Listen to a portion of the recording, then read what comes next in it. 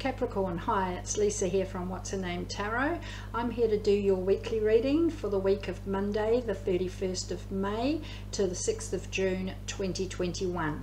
These are general readings only, so just take with you what resonates. Check your Sun, Moon, Rising, Venus signs, any number synchronicities that may occur, and cross watches are welcome as well. So, Capricorn, you have Number 14, chameleon spirit, act as if. Beautiful, love that. You know how they can camouflage and change colors to adjust to whatever their surroundings are?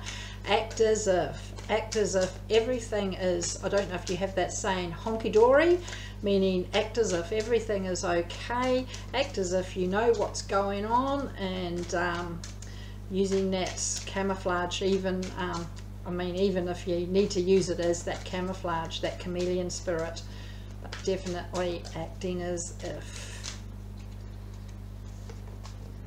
So Capricorn, Moontology. You get the full moon in Gemini. The answers you need are coming. Act as if the answers you need are coming. Put that into one sentence. Act as if the answers you need are coming. Brilliant. Great match there. Right, so Capricorn, let's begin here.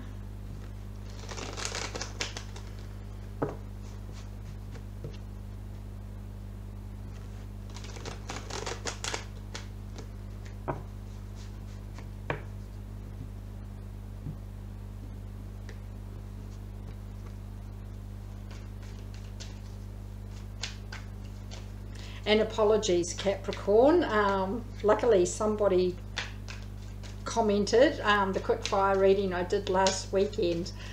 I wrote Cancer twice, and it's like, and they're like, "Where's Capricorn?" it's like, my bad. but um, thank you for spotting that and giving me the time to fix that up for you. Muchly appreciated. Okay, so Capricorn there's love overall for the week. Somebody significant, soulmate, twin flame, maybe an existing relationship that's moving forward. It may be a brand new love that you are meeting that is actually going to become somebody quite significant in your life. Maybe the answers you need are coming. Maybe chameleon spirit act as if that's there. Could be dealing with a Gemini, as I said, but the love is overall for the week past energies, you've got the Two of Swords, the Six of Wands, and the Hierophant. So feeling like you're at a crossroads when it came to making decisions. You felt like everybody was making decisions for you, um, telling you where to be, who to be with, where to work, where to live, you know, pretty much in control. And um, you felt like you were at a crossroads, um, but you were wanting some clarity there. But um, coming out with that victory with the Six of Wands, in the past. There was a win, maybe a win for standing up for your own beliefs, standing up for yourself and saying, well, look here, this is how it's going to be. This is how I'm doing it. So I love that. Present energies, I nearly said future energies, present energies first. You get the Eight of Swords, the Queen of Wands and the Sun okay so feeling like you're in a stalemate situation unable to go any further on this journey but actually finding other ways around things when things are there trying to block your way forward. It may mean it take longer to get to your destination but so be it. You know it doesn't mean you have to come to a grinding halt. You've got vision you've got goals you've got that confidence you've got that determination to go after those dreams. And the sun bringing you a sense of freedom and release bringing you all this happiness and joy there. So love that. And there's happiness and joy in your future energies. Love, brand new love. Ace of Cups, Ten of Pentacles, Queen of Pentacles. Success when it comes to this new love proud of your achievements and how far you've come, possibly with this new love. Again, it may be an existing relationship, stepping up into a new chapter, maybe brand new love that you're meeting for the first time. It could even be a job that you love, or a home that you love, or a pet that you love, um, a car maybe, but it could be love, love. and um, there's success there for the taking, and you're proud of the achievements that you've had to go through to get to where you are. So love that Capricorn. So we'll do the clarifications for each of these.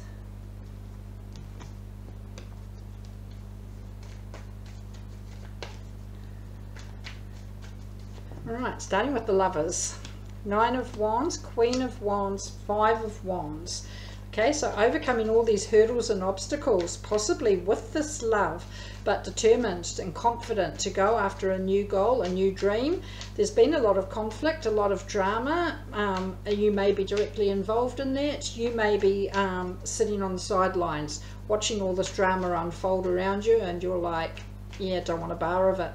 Act as if you're not involved in all that, and um, yeah, banging your head against a brick wall maybe past energies two of swords you've got the empress king of pentacles judgment. Keeping an open mind being very intuitive of not only your own feelings but of those around you as well okay? A success. You're inundated with success back there in the past. Getting control of finances you're not, not judging others not letting them judge you. And again using that intuition very aware of what's going on out there in the big wide world Six of Wands, you get the Eight of Cups, Eight of Pentacles, Ten of Swords. Yeah, success and leaving behind some sort of emotional attachment that was a very painful cycle for you in the past. Working really hard. You put all the hard work and all the effort into making this work and it was just causing you more pain and more pain and more pain. So, and success and being able to walk away from that, not needed anymore again it may be a job it may be a home but it may also be um, personal.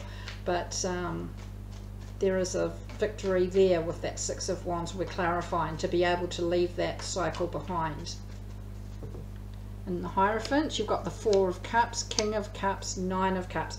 Yeah, quite tunnel visioned, quite stubborn and focused on one particular thing, you know, and it may be what others were coming in and telling you, this is the one you need to be looking after, this is the one that you need to be following, and, um, and then missing these opportunities that were still around you there but gaining control, gaining control of your emotions, gaining control of um, love and happiness there with the King of Cups right at your fingertips and standing up for your own beliefs with that Hierophant that we are clarifying.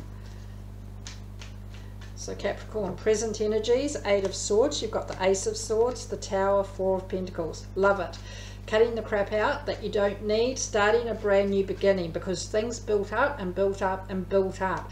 There was something you were still hanging on to for dear life, but it may have built to a point of um, that tower exploding and releasing everything in order to pave the way for this brand new beginning to be built. Um, brand new chapter to be had and making sure that it is solid from the ground up. Queen of Wands, you get the Nine of Swords, Two of Swords, Ace of Pentacles. Yeah, brand new beginnings along your present energy line.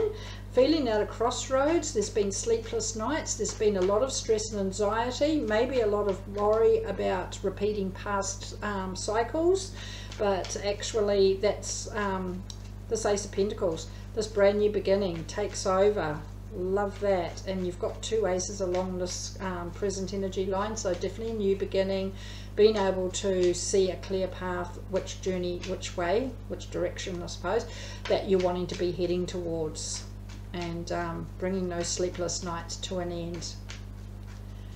And you've got the sun. What better outcome do you need? The Fool, Three of Wands, Page of Pentacles. Yeah, maybe taking a leap of faith towards working with somebody here to make a successful go of things. Seeing them in a better light maybe with the three of wands. Seeing the bigger picture. Seeing things clearly. And as I said maybe someone and it may be in a more positive light than what you initially thought. Others of you taking a leap of faith and a risk with this new um, offer that's coming in this page of pentacles. You're clarifying the sun opportunity for everything to be there for you. Love that. Hope that's for all of you. You got future energies, new love, Ace of Cups with the Devil, the Hermit, and the Ten of Pentacles. Yeah, may take this new love to break the chains, break the shackles that you feel bound to here. Okay, could be dealing with a Capricorn, could be dealing with a Virgo, but Capricorn, that's your card there. Virgo is the hermit, but seeing light at the end of the tunnel. Success. Brand new love may bring success in breaking this energy up here. Comes with some soul searching, but as I said, seeing, seeing light at the end of the tunnel where you're heading towards. And then you go into this Ten of Pentacles with the Hanged Man, the Lovers, and the Star. Yeah, maybe still sitting on the fence when it comes to this um, significant other or the soulmate twin flame. You know what you're wishing and for, you know what you're hoping for, but um, you still may be a bit indecisive. Maybe about, again, repeating patterns. So maybe this new is new love and um, yeah, you're biding your time whether or not to go with this, give this a go. But um, I think underneath it's what you're hoping for. You're wanting that successful outcome, possibly with love. And the Queen of Pentacles, you get the Four of Swords, Eight of Swords, New Love, Ace of Cups, what you started with over this side. So doing some self-healing, okay, everybody needs to do that. It's taking the blindfold off, seeing there's no obstacles in your way when it comes to this new love. As I said, could be home, could be work, could be personal, um, could be existing, could be brand new. But um, definitely finding other ways around things to, to reach this new love. Chameleon Spirit and Full Moon and Gemini act as if the answers you need are coming. So the universe has the Four of Pentacles, the High Priestess, and the universe. So still hanging on to something, not wanting to let go of something or someone maybe, but remaining balanced with what you have got here. Okay, could be not um, could be dealing with Pisces like High Priestess is not wanting to let your guard down, using your intuition, being very observant, but not wanting to be overwhelmed by everything all at once. And what more could you want here? The universe, divine timing, it'll, if it's meant to be, it will be, it'll happen if it's meant to happen, and as it's meant to happen, and when it's meant to happen. But that universe is giving you that forward oomph giving you that momentum and that push and um, continuing that movement. So love it Capricorn. And we finish with the Star Temple.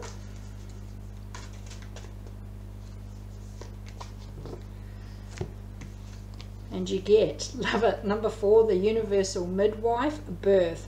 I birth fruitful and sacred assignments. Look at all the aces you had in that bottom row there and um, actually throughout the reading and birth, new beginnings, new chapters. So love that. That world has an assignment for you. Okay, so love that. That's what I have for you, Capricorn. I do hope it helped. If you click that like and subscribe button down there, thanks for watching, and I'll see you all next time. See ya. Bye.